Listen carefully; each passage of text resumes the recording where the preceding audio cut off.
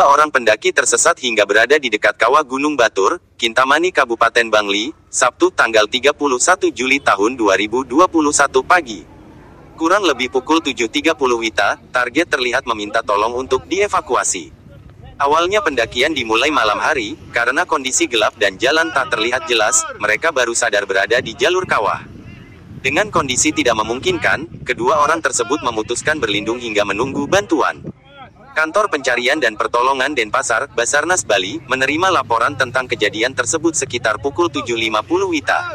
Merespon kejadian itu, Basarnas Bali mengerahkan dua tim yang bergerak dari Pos SAR Karangasem dan kantor Basarnas Bali yang berada di Jimbaran. Total personil yang dikerahkan sebanyak 14 orang, yang juga bergabung dengan unsur SAR lainnya.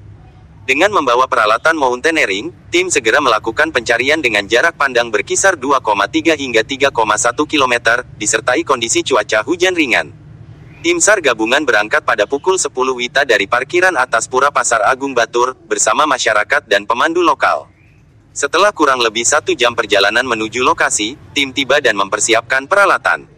Menuju lokasi korban berada, terdapat jalan setapak, namun sangat kecil dan beresiko. Demi faktor keselamatan diputuskan untuk menurunkan satu personil dengan bantuan peralatan mountaineering. Satu orang rescuer diturunkan dan selanjutnya melaksanakan penarikan satu orang korban perempuan atas nama Michelle, berusia 27 tahun, dan korban berikutnya berhasil dievakuasi atas nama Made Yoga, berusia 29 tahun. Pada pukul 12.32 Wita, keduanya sudah berada di atas dalam keadaan selamat.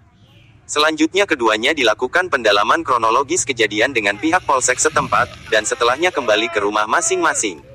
Selama operasi SAR berlangsung turut melibatkan tim gabungan dari Basarnas Bali, Ditsamapta Polda Bali, Polsek Kintamani, SAI Rescue, TRC RSUD Bangli, Persatuan Ojek Batur, pemandu lokal dan masyarakat setempat.